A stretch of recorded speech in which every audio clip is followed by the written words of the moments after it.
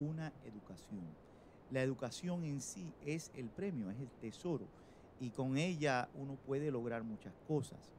Eh, pero si uno no eh, piensa que lo puede hacer, entonces uno no lo puede hacer. Es una de esas cosas que es lo que uno piensa. Si uno piensa que, que sí, que es posible, que es posible eh, poder lograr, lo vamos a lograr. Entonces, aquellos audientes que, que están oyendo este programa, le digo que si ustedes tienen la ansiedad, que si ustedes tienen la eh, inspiración de seguir una educación, eh, ¿por qué no? ¿Por qué darse un par? Eh, nunca es tarde de poder obtener una educación y de poder mejorarse. ¿Por qué? ¿Lo hacemos por otras personas? No, lo hacemos por uno mismo. porque uno siempre debe tratar de mejorar su situación y una educación hace eso. Abogado, eh, el viernes, muchas gracias primero por estar aquí con nosotros. Eh, siempre sabe que es un honor estar acompañándonos y que usted también está acompañándonos en toda nuestra misión de ayudar a la comunidad, sobre todo orientarlos a nivel legal.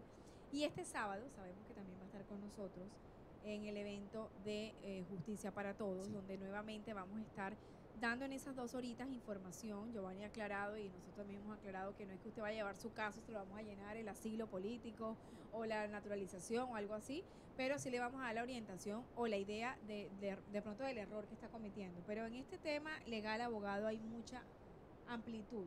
Hay muchas cosas que de pronto no sabemos a las que nos estamos enfrentando y optamos simplemente por hacer lo que nos recomienda. En tal caso, abogado, estamos escuchando muchas leyes que ha firmado el gobernador Ron DeSantis, eh, como muchas personas lo dicen, esta ley antimigrante del sur de la Florida. Y creo que hay una desinformación porque se están escuchando ya personas que dicen, no, eh, ya no vas a poder, eh, van a llegar a los trabajos, van a ser redadas, vamos a volver como siempre. Y creo que hay que volver a la historia, abogado, porque no es que se esté haciendo una ley que nunca ha existido o que las deportaciones vayan a estar de nuevo, es que siempre han habido deportaciones. Creo que tenemos que recordarle un poquito a la comunidad que este temor de la desinformación puede hacer que cometamos muchos errores. Bueno, eh, las leyes estatales en referencia a inmigración eh, son leyes que no de verdad impactan el estado civil de uno en los Estados Unidos. Las leyes que impactan el, estado civil de uno son las leyes federales. Eh, lo que eh, hacen, la potestad que tiene el Estado, es de pasar leyes en referencia a qué ocurre eh, cuando una persona está en ese estado dentro de este estado. Ahora, una de las cosas que nosotros tenemos que tomar en cuenta es que la ley en referencia a las deportaciones, la estanza, no han cambiado federalmente eh, pero que es muy importante, sumamente importante, que si uno tiene una cuestión en referencia a cuál es mi estado, cuáles son mis derechos, qué son las dificultades que puedo enfrentarme, que uno vaya a un profesional, a una persona que tenga conocimiento de esa área y que acudamos y le, le pedamos eh, asesoría. Eh, yo creo que justamente parte de eso es que van a haber eh, abogados de, que son especialistas en las leyes de inmigración que van a estar aquí presentes.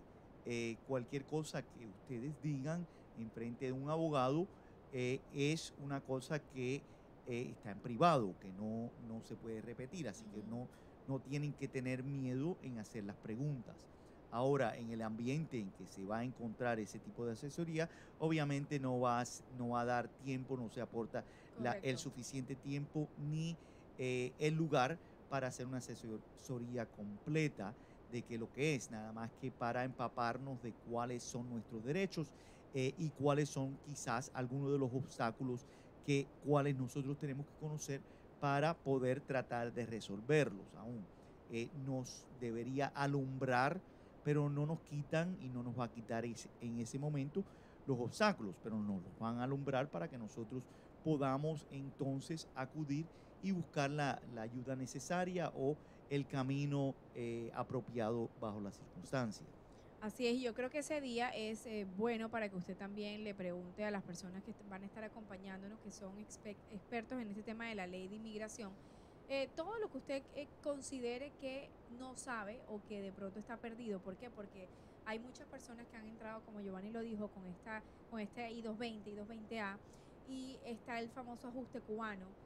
pues no tengo una fecha de corte, pero tengo que esperar el año y el día. Antes de eso tengo que meter un asilo. Todas esas preguntas son válidas Todas esas preguntas usted las puede hacer y se le van a contestar en el, en el orden que, pues, podamos responderla y en el, en el orden que nos dé el tiempo también para poder hacerlo. Pero lo más importante que tiene que tener en cuenta es que si usted después de este evento necesita posteriormente una ayuda en el tema de inmigración, nos puede contactar. Nuestro número directo todo el año es el 305-767-0083, 305-767-0083, porque hemos sido siempre muy claros en el tema de que todo lo que usted vaya a, a, preguntar en ese día, en ese evento o en los eventos que nosotros tenemos, van a estar avalados por profesionales o personas que hayan tenido experiencia en diferentes campos. Eh, ya sea de inmigración, sea de ley familiar o cualquier otro tipo de ley. Giovanni, creo que también es importante dejarle saber a, las personas que si en el momento que estemos haciendo el evento